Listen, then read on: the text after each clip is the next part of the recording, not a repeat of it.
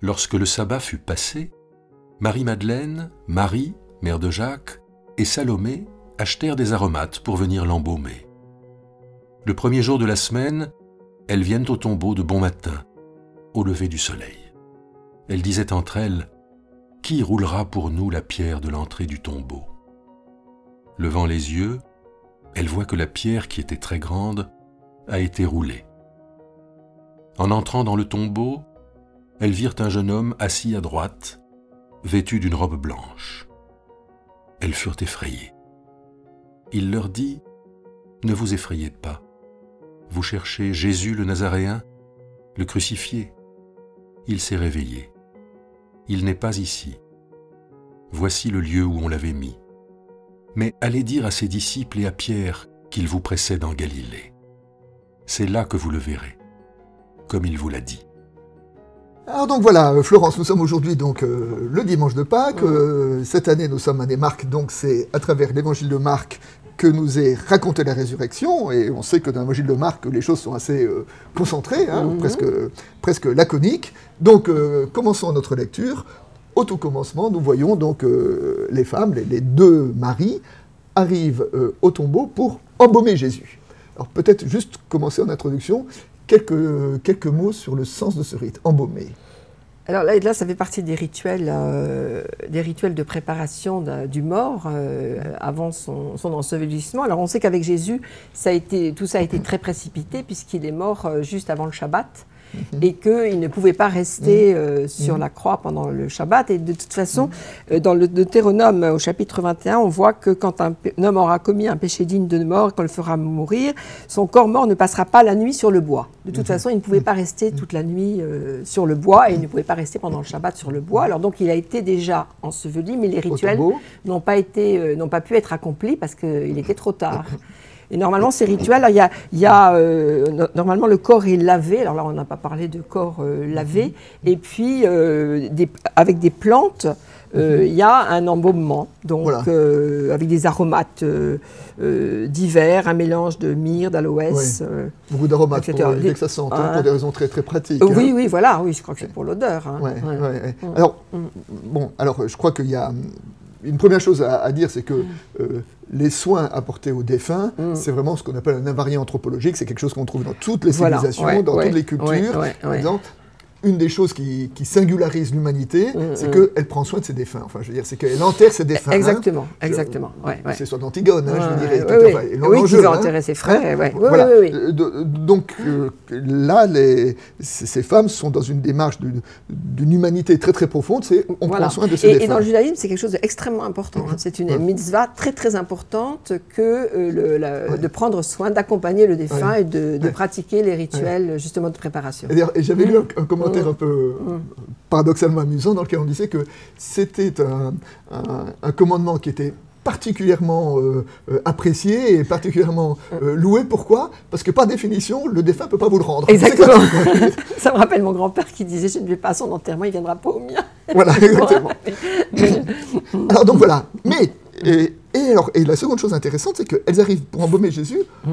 Or, justement, elles ne vont pas l'embaumer. Mm. Elles ne vont pas l'embaumer parce que le corps ne sera pas là, mm. mais dans l'évangile, Jésus a déjà été, d'une certaine manière, presque embaumé. C'est au moment de, l'onction à Béthanie. Hein. Au moment de l'onction à Béthanie, euh, Jésus dit mm. Cette femme, ce qu'elle a fait, c'était en mm. prévision de ma mort pour m'embaumer. Enfin, Et on le racontera de génération en génération. Donc, quelque part, l'embaumement a déjà eu lieu. Enfin, je veux dire, mm. Et là, elles vont pour le faire, elle n'est pas fait. Donc, il y a un peu des décalages qui sont organisés autour de ce, récit. Et c'est très intéressant ce que vous dites, parce qu'il est embaumé en tant que vivant. Oui. Et pas en tant que mort. Et donc, c'est aussi le rapport à la mort qui est, qui est en question là. Voilà. C'est-à-dire qu'il n'y a, pas de corps à adorer, il n'y a pas de corps. Alors, il n'y a pas de corps à soigner, il n'y a pas de corps non plus à idolâtrer.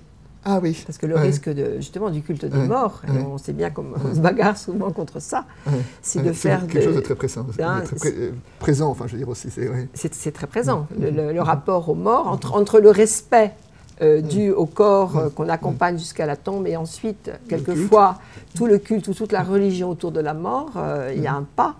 et justement, c'est ça qui est mis en question aussi. L'évangile pose bien des, pose bien des limites. Bien, donc un, l'embaumement, Deuxième point qu'on trouve dans notre euh, récit, la pierre. hein. La pierre roulée, la pierre pas roulée, qui nous roulera la pierre? Elle a déjà été roulée, le tombeau est vide. Alors, euh, qu'est-ce qu'on peut dire sur cette pierre?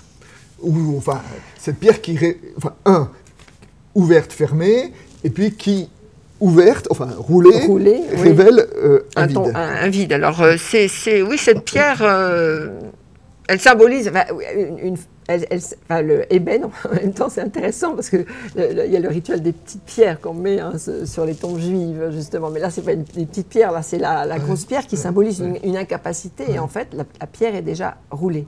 Donc, il y a un- tout un mystère aussi. Qui a roulé cette pierre? Absolument. Et puis, on sait comment, dans Mm. toute la tradition spirituelle, tout ça Mm. a été un peu métaphorisé, hein, Mm, mm. en disant la pierre, c'est la pierre de nos tombeaux, qui roulera la pierre, euh, euh, le- donc la pierre qui ouvre, qui ouvre sur une résurrection, Oui, qui ou, ouvre ou sur la pierre de l'incrédulité, enfin, par Oui, rapport au grain de oui, moutarde de la foi. Enfin, il, hein, peut y avoir, euh, en effet, ça peut métaphoriser beaucoup de choses. Mais le- la, la pointe quoi, de- du récit, c'est quand même et ce tombeau vide avec ce, ce personnage hein, qui, est- qui est là, un ange, mm, et la peur. Oui, voilà, c'est ça qui est essentiel. Omniprésente. D'accord. Alors commençons par le tombeau vide. Euh, euh, donc euh, cette chose assez intéressante que d'une certaine façon, dans l'Évangile, enfin, l'Évangile ne décrit pas la résurrection de Jésus. L'Évangile raconte simplement que le tombeau est vide. hein. Je dis ça parce qu'on on voit, il y a des, des récits après, les récits apocryphes ont essayé de, de décrire euh, euh, le- la résurrection avec des anges qui arrivent, qui roulent la pierre et que tout ça se passe dans la gloire. euh, ça. Mhm. Mais dans les évangiles canoniques, non. On, Non. on ne voit pas Jésus, on ne sait pas comment Jésus est ressuscité. De cette manière, on sait que Jésus est ressuscité parce qu'il n'est plus dans le tombeau. Exactement. Parce que le tombeau est Et vide. parce qu'une parole dit quelque chose Ouais. sur cette absence, Ouais. et qui Ouais. est une présence ailleurs. Ouais. Hein, c'est Ouais. ça, c'est très fort. C'est là que quelque part, c'est là, ça sonne vrai. Tout à fait. Si on veut raconter, euh, bah, si, si on veut faire une légende de résurrection, on raconte autre chose. Justement, un peu comme dans les apocryphes, Dans les apocryphes. ou alors dans l'iconographie, quelquefois, où on voit en effet les morts se lever euh, euh, des tombeaux. quoi. Ouais, Mais- Jésus qui, qui- qui ressuscite en arrachant des tombeaux à Adam Ouais. et Ève, enfin tous les morts, enfin cette Mm. iconographie-là. Ouais, ouais. Mais et là donc, euh, voilà, une résurrection qui est euh, évoquée à travers, euh, à travers un vide, à travers un, absence, et justement que c'est dans, dans ce vide que, tout se joue. Tiens, j'ai une petite citation de, Lao Tse, un sage du, du 6e siècle avant Jésus-Christ, qui dit la chose suivante. Trente rayons convergent vers le moyeu, mais le vide entre eux fait avancer le char. D'une mode de glaise, on façonne la jarre, mais c'est le vide en elle qui en donne l'usage. Murs, portes et fenêtres forment la maison, mais c'est le vide de la chambre permet de l'habiter.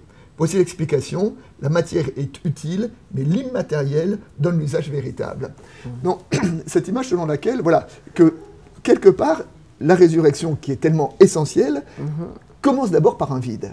Donc, euh, bah, comme un, un- quelque chose à habiter, enfin, quel- quelque chose à, à remplir, quelque chose à, à- qui nous attire, qui nous, euh, dans lequel nous devons aller. Oui, qui, qui pose question, et c'est surtout, c'est surtout justement pas cette réponse du culte de la mort, quoi. Mm. Parce qu'en général, c'est ce qu'on fait. Je veux dire, la, la- la tentation, justement, dans l'anthropologie, on voit, c'est de, créer des. là, il y a la question de- du respect de, de l'humain qui fait qu'on crée des, des sépultures, mais ensuite, ça devient des lieux de culte. Hein, ça devient des lieux de culte, donc ça veut dire qu'on révère la mort. Or, le Dieu est Dieu de la vie. Et Jésus est prince de la vie. Et donc, euh, là, là c'est vraiment. Et la vie, c'est question, en fait. Il n'y a pas de réponse. La vie, c'est une question permanente. Et une invitation à vivre, à avancer. D'ailleurs, là, c'est ce qui se passe avec l'ange, avec ce que dit l'ange aux, aux femmes. Voilà, il vous précède en Galilée. Donc- allez donc, dire il, est là-bas. Et c'est dans la vie que vous Ouais. allez le retrouver, Voilà, et non ouais, pas en restant euh, devant ce tombeau, parce que dans ce tombeau, il est vide. Il n'y a rien à voir. Circuler.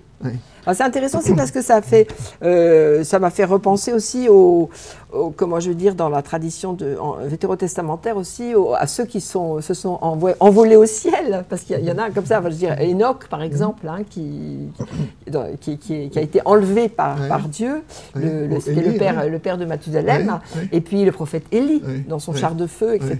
Et Il n'est plus là, quoi. Il n'est plus, il est plus là. Et alors on peut penser aussi à Moïse qui est enterré par Dieu lui-même et on ne sait pas où. Hein, je, je crois que. Euh, mais c'est surtout ça, c'est surtout un message de vie. D'ailleurs, voilà. Et donc, reprendre la parole de l'ange, hein, l'ange qui lui dit euh, Il n'est plus ici, il vous précède en Galilée, allez le dire à ses disciples. Et ça, c'est vraiment le message de la résurrection qu'on trouve euh, dans le, Nouveau Testament. J'en veux, lorsque, dans, le, dans la première épître aux Corinthiens, quand Paul évoque la résurrection, qu'est-ce qu'il dit? Il dit il s'est révélé à, à, Céphas, il s'est révélé aux douze, il s'est révélé à 500, il s'est révélé à moi-même. C'est-à-dire qu'il dit, euh, allez leur demander, hein, un peu, enfin, ce que, ce que suggère Paul, c'est-à-dire que la résurrection, c'est aller demander à ces hommes qui ont été des témoins comment est-ce que ça changeait quelque chose dans, dans leur, euh, euh, dans leur histoire. Et que donc, que, que vivre la résurrection, comme vous disiez tout à l'heure, c'est pas rester planté devant un tombeau vide, mais c'est justement, c'est vivre dans notre Galilée, cette, cette espèce. C'est avancer c'est cette parole plus forte que la mort qui est euh, symbolisée à travers la résurrection. Oui, et de ce fait, c'est relire tout ce qui s'est passé avant euh, autrement, mm. euh, à la lumière justement de cette résurrection, mm. à la lumière de, cette, de, oui, de ce tombeau vide en fait. Mm. Tout prend sens différemment. Et alors, pour finir, la peur. La peur et le silence, parce qu'on lui dit, euh, elle est racontée, mais elles se taisent. Hein, elles se taisent. C'est très intéressant. Et donc, on dit, n'ayez pas peur, et, on dit, et, elles se taisent parce qu'elles ont peur. Elles, ont peur. Alors voilà, comment comprendre ça? Parce que, alors, surtout qu'il faut dire quand même quelques mots. Hein. C'est que dans l'évangile de Marc, euh, initialement, euh, dans la première version de l'évangile de Marc, l'évangile se termine là-dessus, hein. se termine ce verset. Elles ne disent rien à personne car elles avaient peur. Donc l'évangile se finit sur la peur. Et parce que probablement ça pouvait paraître un peu trop énigmatique ou un peu trop mm. violent. Après, il y a une autre conclusion qui a été indiquée, mm. mais, mais, mais dans les premiers manuscrits, ça s'arrête là. Alors, comment comprendre ce silence et cette peur des femmes euh, après la rencontre de l'ange? Bah, moi, je crois que euh, souvent, on, je veux dire, on critique beaucoup le sentiment de peur. Enfin, moi, je, on fait la différence entre la peur et la crainte. Mais souvent, on, dit aussi la crainte du Seigneur, c'est le début de l'amour aussi. Enfin, mm. C'est-à-dire, c'est la prise de conscience que ce qui est donné là est quelque chose d'inouï. C'est peut-être simplement le, vous voyez, l'écho chez ces femmes. Elles sont devant de l'inouï. C'est-à-dire que ce n'est pas quelque chose de banal. Ah ben super, il n'est pas là, il est vivant. Non, c'est pas ça. C'est il s'est passé quelque chose qui, est, qui vous tétanise avant de vous faire avancer. J'aime bien ça parce que on a tendance à banaliser les choses quand on les connaît trop par cœur. Euh, tous les ans, on fait Pâques, mais c'est inouï. Donc, je trouve que on peut voir cette peur, cette frayeur, comme un écho euh, à cette inouïe. quelquefois, ça nous ferait peut-être du bien de ressentir à nouveau cette espèce de, crainte, de réserve, en disant mais attends, c'est pas c'est pas banal. Donc l'inquiétude de la résurrection. L'inquiétude de la résurrection, oui, c'est ça, une inquiétude qui va devenir une joie. c'est ça, là encore, on est dans des paradoxes, mais je crois que ça va ensemble. Donc c'est à entendre que dans ce récit-là, il y a quelque chose qui est, voilà, qui est tellement grand que, que, ça suscite en nous de, de du silence et de l'inquiétude. Et que ça aussi, il ne faut pas le. Euh, il ne faut pas aller trop vite. Il faut pas aller trop. Après, on va se réjouir parce que ça va descendre en nous l'annonce. Mais quand elle nous saisit, on, reste les, les, bras tombés par terre. Et ben alors, restons dans cette sidération.